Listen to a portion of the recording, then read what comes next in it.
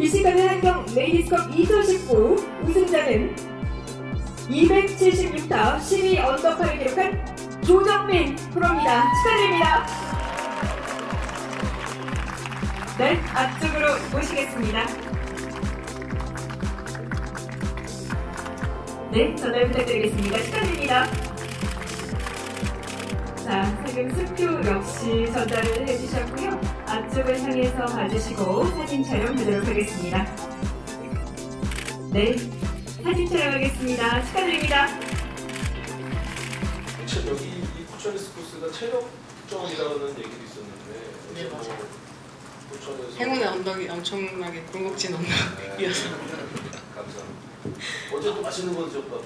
어제 여기 제가 같이 전주훈련 갔던 되게 좋아하는 언니가 포천에 사는데 그래서 그 언니 집 궁예 가든이라고 찾아가고 옛날 거? 네네 맞아요 그래서 아 친구. 아니요 언니가 두 살 많으세요. 아, 그래서 이동갈비를 엄청나게 먹고 왔죠.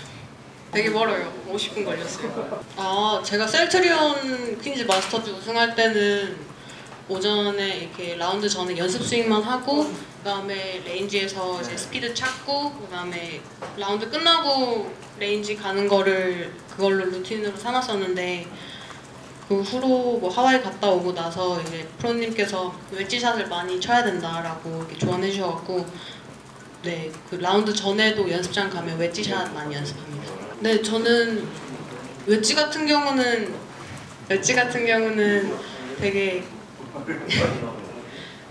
그 연습량이라고 생각해요. 그래서 그 워낙 예민한 부분이기도 하고 그래서 웨지는 최대한 그 연습량으로 좀 채우는 게 맞다고 생각해서 네.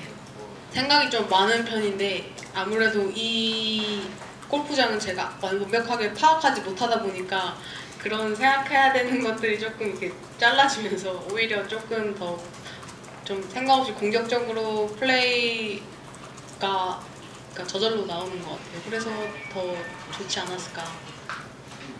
해외 투어 에서 우승을 해보고 싶어요.